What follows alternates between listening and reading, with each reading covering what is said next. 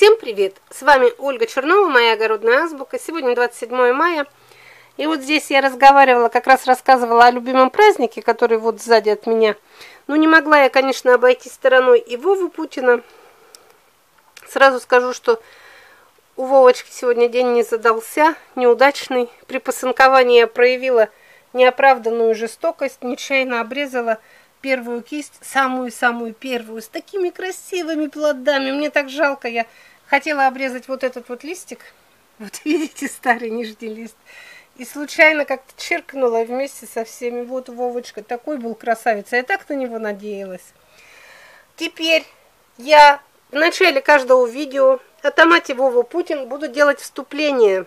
Что это? Томат любительской селекции челябинца Николая Александрова, и что назвал не, честь, не в честь президента, а в честь его друга детства.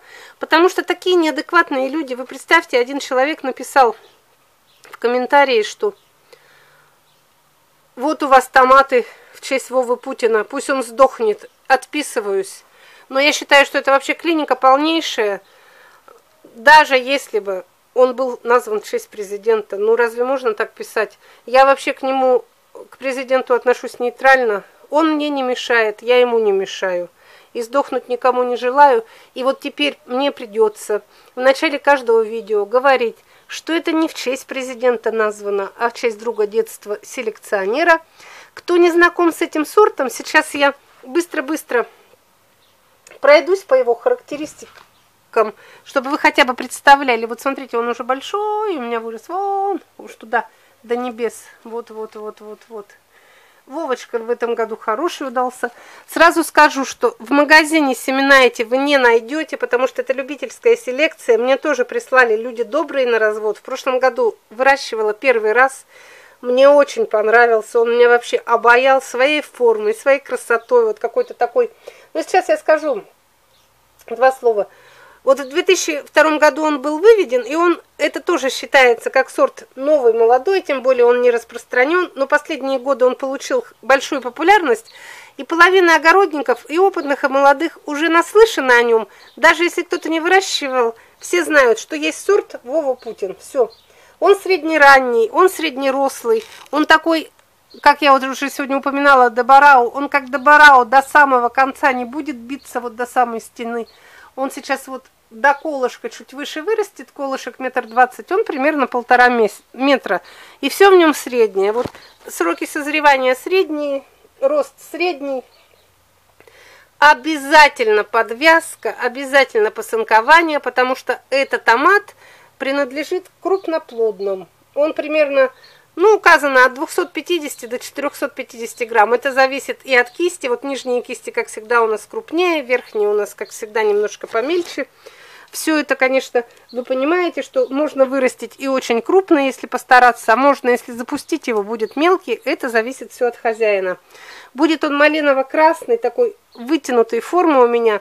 Но в интернете написано все-таки, что это сорт еще так как новый, нестабильный, для того, чтобы устаканиться, как говорится, сорту нужно много-много лет, и встречаются среди Путиных и вытянутые, ну, среди Вовы Путина, конечно, и вытянутые, и вот такие. Мне больше всего нравится вот такая форма, она как гусиное яйцо, вот форма, как там от гусиное яйцо, немножко как вытянутый такой, и такой какой-то, ну, такой вот загадочный.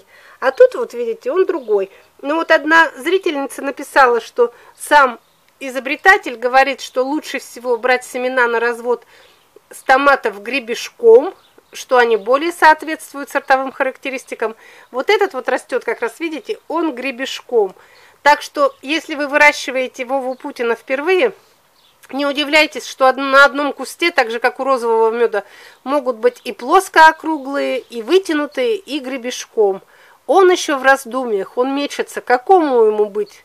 То ли гребешком, то ли вытянутому. Такое бывает. Все. Так. Что еще про него сказать?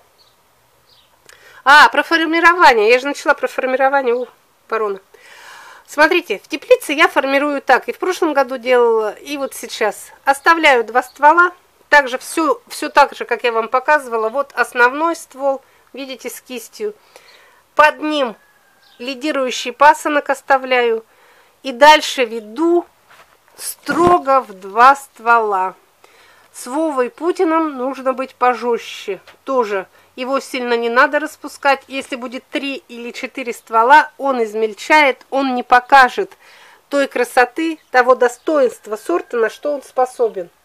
А вообще, вот в интернете написано, что для того, чтобы получить очень вкусные плоды, правильной формы, ну вот как такой отборные, то лучше формировать его в один ствол.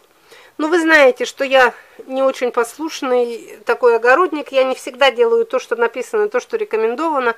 Мне вот удобнее в два ствола, я его формирую в два ствола. Вы можете с Вовой Путиным делать все, что вам угодно.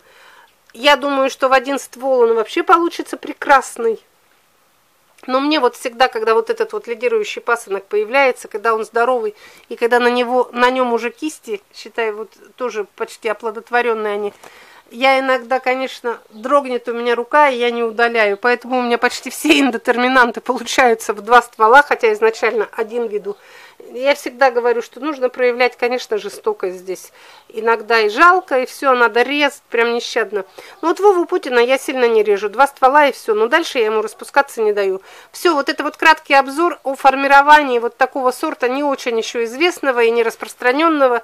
Он, наверное, не будет очень распространен, потому что он любительская селекция, его в магазинах нет.